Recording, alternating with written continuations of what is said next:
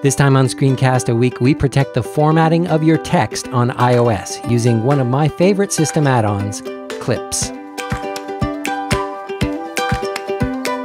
Hello again, people of the internet. This is Screencast a Week, and I'm Kevin Yank. And this week, I've got my iPad here. In a previous episode, we looked at paste and match style on the Mac that let you copy and paste formatted text without screwing up the formatting of the document that you're pasting into. And I got a question from a viewer asking if they could do the same thing on their iPad. Let me show you the problem first. Here I've got Safari open on my iPad, and I've got a web page with some text selected. So if I tap that and choose copy, now I'll go over to an email message. I've got a blank email message here. I'm going to try and paste that text in. And sometimes when you do that, you get something like this. The background image of the web page is there, but the text itself is not even formatting. The button is kind of half there. This is really not what we were going for. And uh, it's really hard to salvage this using just the formatting tools that are built into Mail or pretty much any text editor on iPad. So, how do we avoid making a mess like this? Well, unfortunately, iOS, at least as of the time that I'm recording this, which is iOS 8.3, does not yet have anything like the paste and match style feature that's built into every Mac. But there's a way around it, and it involves, like most things on iOS, an app. So let me first undo that change so I can get my blank email message back. And once I've done that, I'm going to exit Mail and show you this new app called Clips.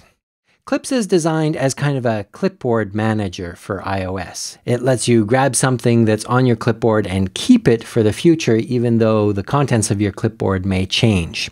So if I open Clips right now, you can see the text that's on my clipboard with the dotted line around it. And what Clips is mostly for is for pressing that plus button so that that content is now stored in Clips and I can build up a library of these stored snippets that I can then get onto my clipboard again later if I need them. But if you look at this row of buttons down along the bottom of the screen here, one of the things I can do with this content is copy the text of it.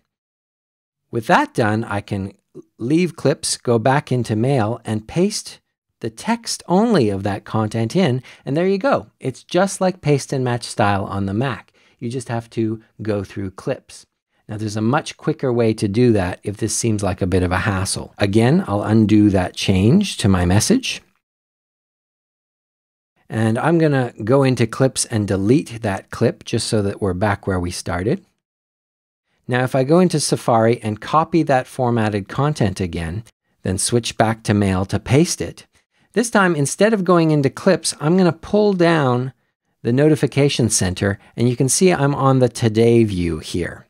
Your today view probably has your calendar and reminders and things like that. Mine's pretty empty at the moment, but at the bottom of the view, you can tap this edit button to view all of the widgets that the various apps on your iPad provide. You can see clips is in the list there, so I'm going to tap it to add clips to my today view and tap done. And now you can see that that thing that's on my clipboard is right here in my today view. I can get at it really quickly just by swiping down from the top of the screen. If I wanted to keep this semi-permanently, I could tap the plus button, but instead I'm just going to tap the arrow here, tap text, and now I've got the text version of that content on my clipboard swipe back up, paste into mail. So there you go. Besides being a really cool clipboard manager that lets you store multiple things from your clipboard in a handy place, Clips also provides the ability to strip the formatting off of text that you might have in your clipboard. And using that feature, you can get the same effect as paste and match style on your Mac. Believe it or not, Clips is absolutely free on the App Store. There's a pro upgrade that costs $2.50. It lets you store more than five clips in the app and sync those clips automatically between your iOS devices, like your iPad and your iPhone. I don't actually use those features, but I like the app so much that I went ahead and bought the upgrade anyway. If you ask me, having paste and match style on my iPad for $2.50, that's a steal. That's it for Screencast a Week this week. I'll be right back here next week with another Screencast a Week.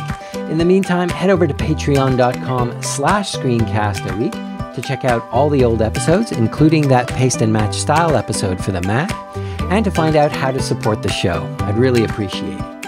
Until next week, I'm Kevin Yank. Thanks for watching.